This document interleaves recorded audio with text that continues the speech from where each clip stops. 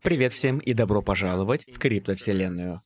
Сегодня мы поговорим с вами о биткоине и посмотрим на индекс страха и жадности. Если вам нравится этот контент, обязательно подпишитесь на канал, поставьте под видео лайк, напишите под видео комментарий и посмотрите распродажу на нашем сайте intothecryptoverse.com. Напомню, что ссылку на индекс страха и жадности вы можете найти под этим видео в секции описаний. Данный инструмент в виде индекса используют многие для того, чтобы определить, каков сейчас общий настрой на рынке – напуганный или жадный. И причина, по которой мы об этом говорим, в том, что общая идея заключается в том, что покупать следует во время страха, а продавать при жадности. Интересная вещь в том, что если вы только лишь продавали свои биткоины в то время, когда индекс показывал значение в 90, то это не будет обязательно значить лучшую стратегию. Примером может быть вот этот, когда в 2020 году индекс страха и жадности биткоина показывал отметку в 90, а цена была на уровне 15,6к. Это было лишь началом того, когда цена сделала ралли до отметки в 64 тысячи всего лишь спустя несколько месяцев. Но есть способ, как это можно поправить. Для этого можно применить скользящие средние. Но, конечно же, по определению, скользящие средние будут запаздывающим индикатором. Но все же, если мы применим 30-дневно скользящее EMA к индексу страха и жадности, то это позволит, по крайней мере, исключить уровень в 90 для индекса страха и жадности, по крайней мере, до того момента, когда цена достигла, скажем, 22-23 тысячи. То есть на 8 тысяч долларов больше, чем то значение, которое мы видели до этого. Если мы будем с вами использовать 14-дневное скользящее EMA, то такой результат мы с вами получим немного раньше. В любом случае, основная идея заключается в том, чтобы подобрать оптимальное значение, которое будет для вас самым удобным. Используя 30-дневное скользящее среднее, мы с вами видим, что получается результат для индекса страха и жадности с уровнем в 90 ближе к цене 18-19 тысяч долларов. Итак, во время бычьего рынка с характеристиками последнего, который мы с вами видели, продажа вашего биткоина только из-за того, что индекс страха и жадности достиг 90, не будет обязательно являться лучшей стратегией. Не поймите меня неправильно. Но по мере того, как индекс провел здесь много времени и начал формировать нисходящие верха, то это могло быть индикатором, посылающим довольно интересные сигналы, на которые стоит обратить внимание.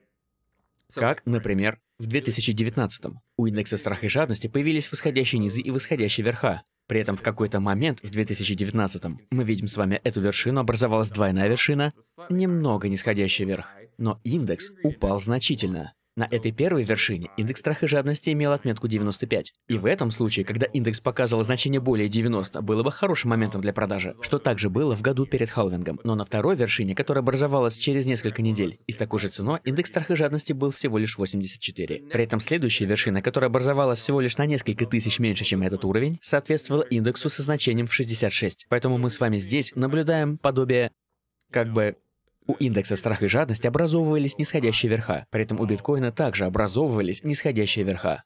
И в одном из этих случаев не было особо видно нисходящего верха. Это было больше похоже на двойную вершину. И это интересный способ для взгляда на рынок. Если мы посмотрим с вами сюда, то здесь было похоже на то, что индекс как бы завис на отметке 80-90, и довольно надолго, после чего вернулся вот к этому уровню, но как только мы с вами достигли этого уровня в 50 тысяч долларов, то с этого момента индекс страха и жадности начал формировать нисходящие верха. И, возможно, это и будет лучшим способом, чтобы использовать этот показатель. То есть, когда мы видим, что цена биткоина медленно пробивается выше, при этом индекс страха и жадности на самом деле спускается, что значит, что социальный интерес постепенно начинает спадать. То есть, когда мы уже не видим такой же FOMO, которое мы изначально наблюдали во время этого первого ралли. То есть, если особо люди не поступают в систему, а на рынке FOMO уже не такое сильное, то это может быть признаком начала спада ралли. И, конечно же, мы это видим с вами и в 2019 году, а также и в 2021. Но сегодня мы с вами наблюдаем восходящие низа, а также и восходящие верха. При этом самый высокий уровень, который достиг индекс страха и жадности, и который мы видели в 2023 году, это около 69. Конечно, мы с вами видим, что в дальнейшем мы также росли, но при этом индекс страха и жадности был всего лишь на отметке 64. И да, я от многих слышал, что люди настроены очень побычьи на остаток 2023 года.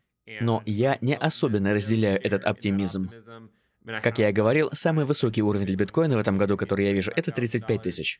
Да, это все еще возможно, но чем дальше мы идем к концу года, то, на мой взгляд, это становится все менее вероятно. Особенно с приближением периода времени августа-сентября, который обычно соответствует безрисковому периоду для акций, что обычно отправляет биткоин под полосу поддержки бычьего рынка, и что мы наблюдали каждый предыдущий цикл. Биткоин падает ниже 20-недельного SMA в августе-сентябре года перед халвингом. По крайней мере, мы также видим какое-то совпадение с тем, что индекс страха и жадности также формирует потенциально нисходящие верха, что исторически, по крайней мере, означает начало переходного периода. Мы также видим, что в 2021 были нисходящие верха, при этом цена биткоина формировала лишь едва заметные восходящие верха.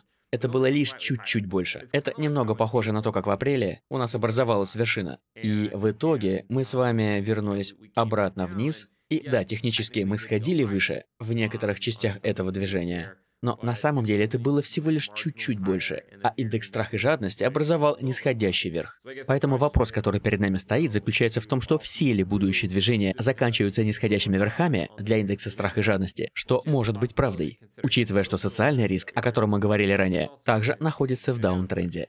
Поэтому, если вы смотрите по бычьи на конец года, что, думаю, вы хотели бы на самом деле увидеть, то для этого следует ожидать показания индекса страха и жадности более 70. Если индекс начнет показывать результаты выше 70, то это будет признаком того, что индекс начнет формировать восходящие верха.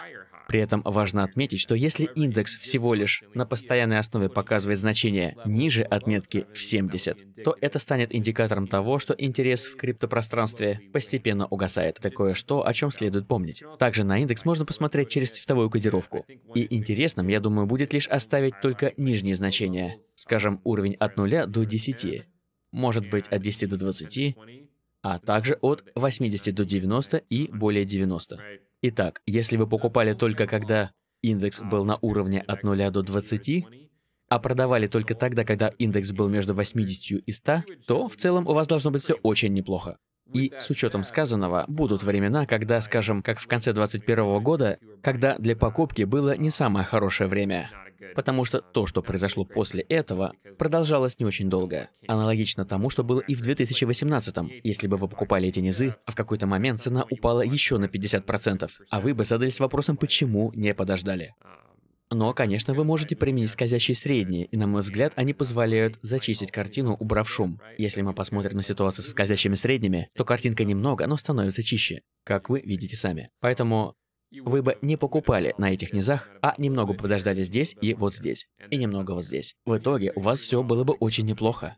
Покупая немного здесь, все бы получилось, даже с учетом того, что цена бы не вернулась к этим уровням, если вы применили бы 30-дневный SMA. Но, конечно, покупая здесь, сразу бы вам не дало хороших результатов. Но цена на самом деле была примерно такой же, как и во времена вот здесь. Так что, ребят, надеюсь, вам понравилось в использовании индекса страха и жадности таким образом. Так что прошу вас поставить под видео лайк, подписаться на канал. Вы этим очень поможете каналу. Ну и посмотрите распродажу intocryptoverse.com. Увидимся и всем пока.